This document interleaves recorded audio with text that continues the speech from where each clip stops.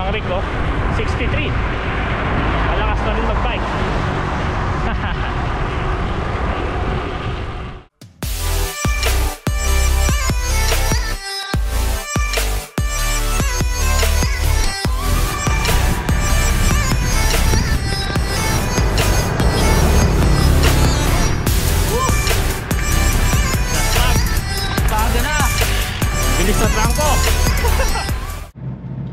morning. Welcome sa panibagong video dito sa aking channel. So, ang pag-uusapan natin ngayon ay ang 400k challenge na sinalihan ko. Kung bago ka lang dito sa channel ko, consider subscribing kasi nagpo-post ako ng mga videos about active lifestyle, particularly about sa swim, bike, and run. Kasi lahat yan ginagawa ko since I am a triathlete and also I run marathons. So, ano itong 400k challenge na gagawin ko ngayong October? Tinawag ko itong 400k challenge kasi ito yung full distance ng gagawin ko. 100 kilometers yung run, tapos 300 kilometers yung bike. Bike and run siya. A total distance of 400 kilometers. Saan ko ito nakuha yung challenge na to? Ah, nag-join ako sa takbo.ph virtual run. So separate event siya. And then there's another event which is virtual ride naman. Ah, maganda doon yung proceeds niya is to help save the Tamaraws. Okay, since nandito ako sa Mindoro, since taga Mindoro ako, and the Tamaraws are endemic here in the island of Mindoro, kukunti na lang ang Tamaraws na natitira dyan sa Iglit Baco National Park. So, protected area siya. Nandun lang yung mga wild na Tamaraws. Ah, Nakita ko sa website ng takbo.ph na yung virtual run and virtual ride nila ay ang proceeds ay to help save the Tamaraws.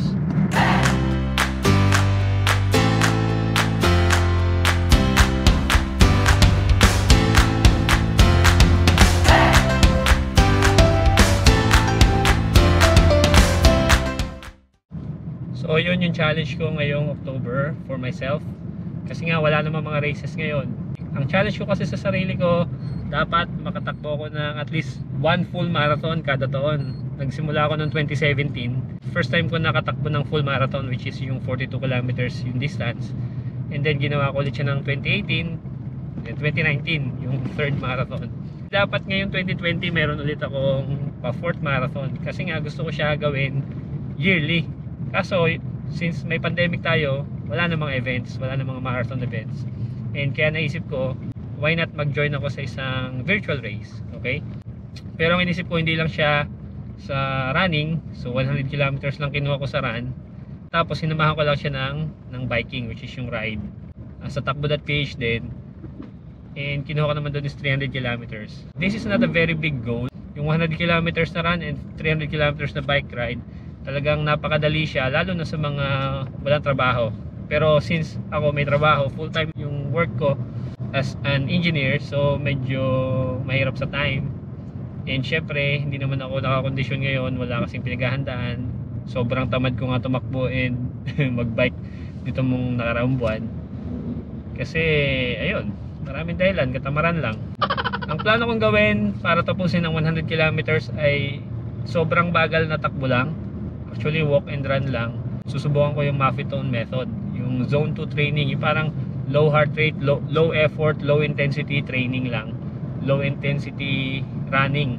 Okay? Pati sa pagbabike, pipilitin ko na mababa lang yung intensity to prevent injury and also to build my aerobic base. So yun naman yung purpose ng Maffetone method to build your aerobic base. So, pag-usapan natin ang Maffetone method ng mas detalyado sa mga susunod na videos. Pero yun yung gagawin ko. Gusto ko kasing matry na low intensity lang palagi yung pagtakbo and pagbabike. Yun daw yung makaka-build ng aerobic base. Yung aerobic engine ng katawan natin. So, gusto ko yun. Since wala namang mga race ngayon, hindi naman kailangan na napahirapan ng sarili. Okay, ma-enjoy lang yung takbo, ma-enjoy lang ang ride. So that's that's the purpose.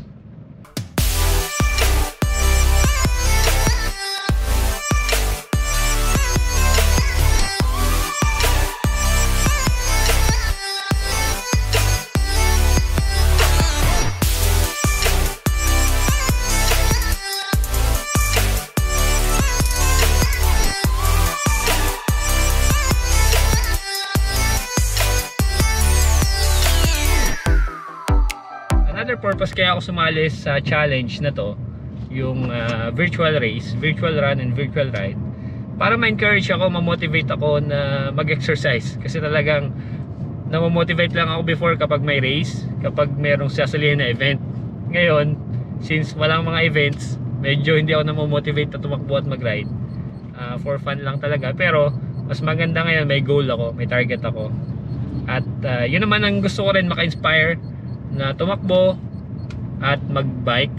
And hopefully banda-banda riyan um, pakita ko yung mga swim sessions ko para ma-inspire ko rin kayo na mag-swim.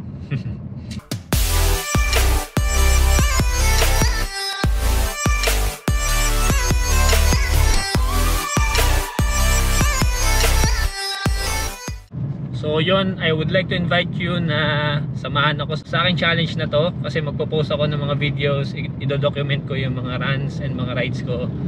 I will uh, try my best na mag-upload na mas madalas kahit na sobrang busy at uh, walang time masyado mag-edit.